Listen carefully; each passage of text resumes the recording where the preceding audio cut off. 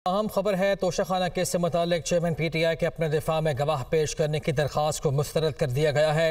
जज हुमायूं दिलावर की जानब से ये रिमार्क दिया गया कि मुलजिम के वकला गवाहान को केस से मुतल साबित करने में नाकाम रहे हैं। समात का अहवाल जान लेते हैं हमारे नुमाइंदे हसीब मलिक हमारे साथ मौजूद हैं। हसीब, आगाह कीजिएगा।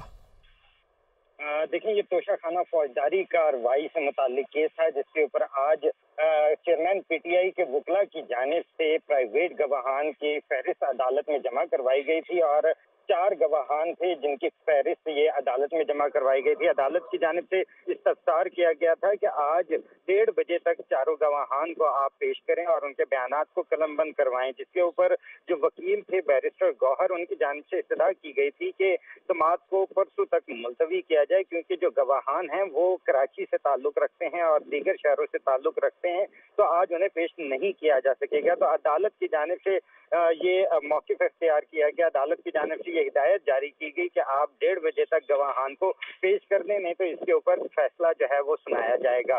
डेढ़ बजे तक समात में वक्फा किया गया और समात में वक्फे के बाद एक दफ़ा दोबारा आगाज़ किया गया तो गवाहान अदालत में पेश नहीं किए गए थे और अदालत की जानब से ये फैसला सुनाया गया है कि कल जो है हतमी दलाइल के लिए अदालत फरीकैन को तलब करती है। कल हतमी दलाइल अदालत में दिए जाएँ ताकि उसके बाद फैसले को महफूज किया जा सके। और अदालत की जानब से ये भी कहा गया कि अदालत में चेयरमैन पीटीआई के वकला की जानब से आज प्राइवेट और सरकारी गवाहान की फहरिस्त को जमा करवाना था, लेकिन ना उनकी जानब से गवाहान को पेश किया जा सका है, ना सरकारी गवाहान की फहरिस्त जमा करवाई गई है। और दूसरी जानब, इलेक्शन कमीशन के जो वकील थे, उनकी जानब से ये मौकफ अख्तियार किया गया था कि जो गवाहान हैं, उनका इस केस से ताल्लुक नहीं बनता क्योंकि जो जो गवाहान है उनका जो ताल्लुक है वो टैक्स टैक्स से रेलिवेंट हैं और उनका जो डाटा है वो टैक्स कंसल्टेंट हैं और उनका इस केस से कोई ताल्लुक नहीं है। चेयरमैन पीटीआई की जाने से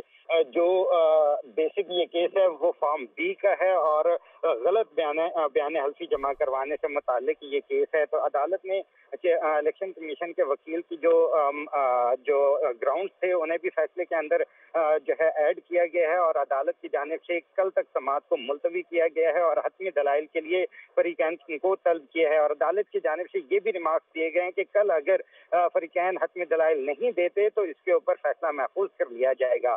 तो ये अहम डेवलपमेंट आज सामने आई है और केस अपने हतमी मराहल में दाखिल हो चुका है क्योंकि 342 का जो स्टेटमेंट थी वो ऑलरेडी जो है वो रिकॉर्ड बिल्कुल ठीक। अब कल ग्यारह बजे समाप्त होगी और हतमी दलाइल होंगे। शुक्रिया आपका हसीब